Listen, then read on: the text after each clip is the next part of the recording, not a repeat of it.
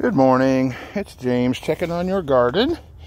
Um, I think your squirrels have been at your garden again. I can see lots of digging over there and over there.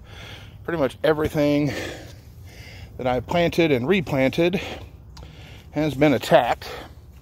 You still have a fair amount of tomatoes on the vine, still ripening.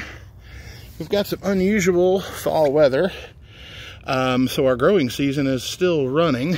Um, but the next visit, um, I'll be clearing these out.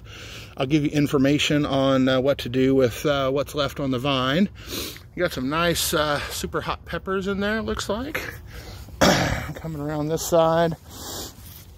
Some of your marigolds actually made it through the summer but yeah, everything that we planted uh, for fall has just been squirrel food, basically.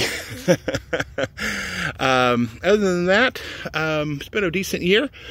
Um, I'll give you information on what to do with your tomatoes that are left and your peppers and all that stuff. And in a few weeks, we'll get this all cleaned up for winter.